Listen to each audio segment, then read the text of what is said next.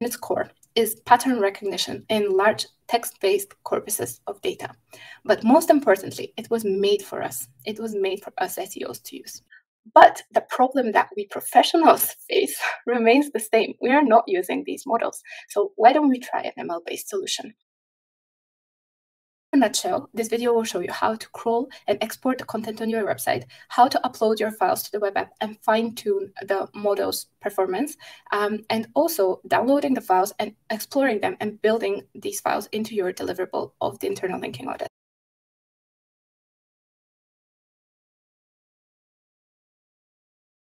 Content clusters and SEOs are typically seen like this. You have uh, the content that is clustered that can be in different formats. You have the internal links or hyperlinks that link to a pillar page. But Content clusters in machine learning are typically referred to as topic models, and they're a little bit different. Now, the fundamentals are absolutely the same. The old way of presenting a page was to have it as a standalone page and rely on backlinks to this page in order to uh, signal its importance. And the new way is to put this page in the content context of other existing content on your website. So let's think about how did topic modeling come about in order to assess its relevance. According to the author of the first topic modeling algorithm, there was a problem. As collective knowledge increases, discovery of information gets more and more difficult. The solution, in his opinion, was that computational tools can be implemented to help organize, search, and understand these vast amounts of information. Another problem he saw is that the current systems of query and links are good, but they can be very limiting. And the solution, in his opinion, was that we need systems to organize documents based on themes or otherwise topics and subtopics. The final problem he saw is that there's no ability to zoom in and out of topics of interest and to highlight patterns within these topics. And the solution he thought was that we need topic models that operate under the assumption that a document has multiple subtopics within it. And this is how the first topic modeling algorithm was born. That is called LDA. Now, the idea behind LDA is that you have different words that can stand as descriptors for a particular topic. And the algorithm actually calculates the probability of each word in this document aligning to one of the main core topics that the algorithm identifies. And what this allows is someone like us coming in and looking at these different words that describe a particular subtopic in a document and giving them names like what do they mean? What do these terms represent? What is the name of this topic? And then seeing how often are these different subtopics represented as part of the given document. So let's start with step one, crawling your website.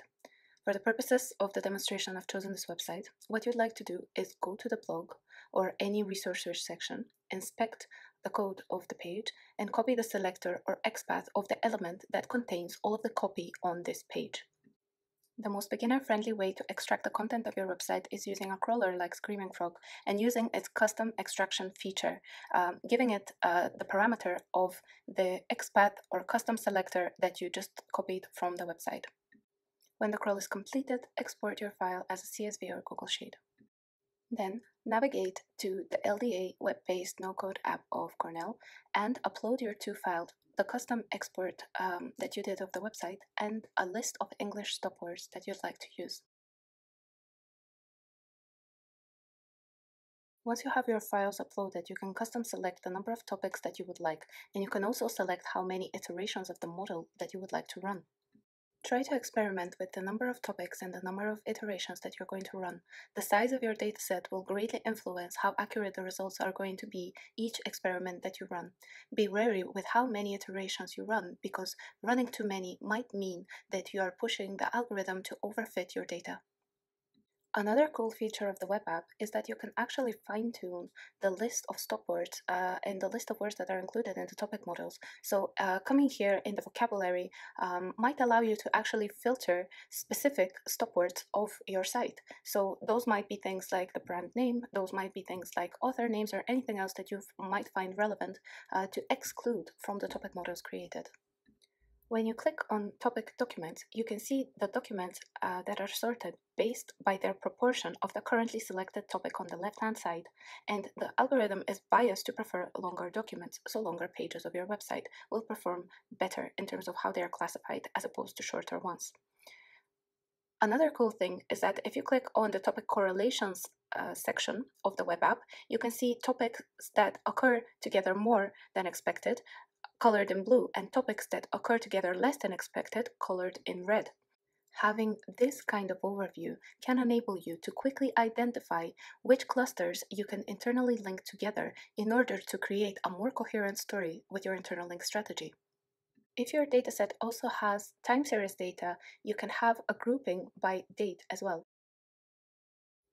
Now that we kind of know what to expect from all of the files that we're going to download, we can navigate to the download section and download all of the files which are already put in comma-separated formats. The only one that I wanted to put a little caveat for is the doc topic graph file for Gephi.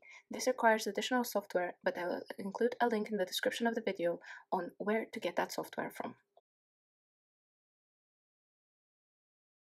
And the final part of uh, this exercise is actually exploring the files in a little bit more user-friendly format and potentially integrating them into your deliverable. Now I have created uh, sheet template and hopefully that will be a little bit more useful for you when you're trying to understand the data that you're dealing with. So um, it involves um, four different tabs, with the first one being mainly instructions about how to use uh, this sheets template. Uh, and it also kind of covers uh, things that we have already discussed in the video. Um, it has uh, a couple of different uh, related resources attached just to kind of help you in case you ever get stuck um, with doing this uh, exercise at all. Yeah, so essentially we have uh, the, the keys um, section. Now looking at the exports that we have from the web-based topic modeling app, the keys are actually the topic words export. Now you would paste this uh, just as you see it um, in the document. Next we have uh, the topic-to-topic -topic similarity. Now I have instructions here about how to paste it, but essentially these two, um, once you put the keys in, these two sections of this sheet are going to be automatically filled um, with with your data. The only thing that you have to copy is actually the scores of the topic-to-topic -topic similarity. And the document that you're going to copy this for is topic-to-topic -topic connections from the web app export. And finally, one of the most important things is the document topics. Now, again, like in the other two, two sheets, the, these cells here that are in gray, they're going to be automatically filled based on the in input that you provide in sheet number one, which is organize your data, and sheet number two, which is keys the document topics values are actually going to be something that you copy from the document topics export from the web app. I hope this was super useful for you. I cannot wait to see how you use it and tell me if you think the export was good enough for your site or you think it was just not good enough and how you have improved it. And I just want to take a quick pause here and uh, just prompt you to look at what you have achieved. You saved a ton of time. This exercise has taken you no more than 30 minutes. You also uh, have a baseline overview of uh, the main topic clusters and their relationship. You also tested something new. So it's important to scrutinize the output and tell your client how you have improved it or if it was good enough. Congrats.